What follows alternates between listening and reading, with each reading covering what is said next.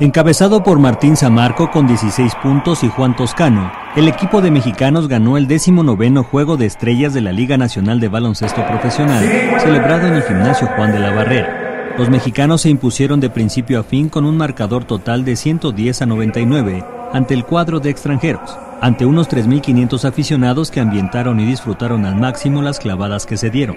Para la escuadra de mexicanos, Samarco encestó 16 tiros al ar, seguido de Israel Gutiérrez con 15, Juan Toscano y Román Martínez con 9 cada uno.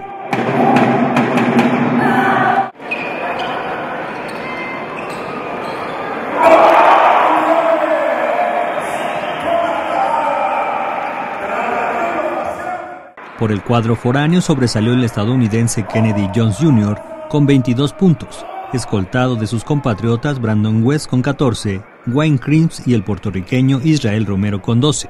Juan Toscano se llevó el trofeo de jugador más valioso por su alta efectividad, al encajar los dos tiros de dos puntos, el de tres y los dos que hizo desde la línea, lo que significa que estuvo acertado al 100%. Con información de José Luis Simón e imágenes de Oscar Valencia, Notimex.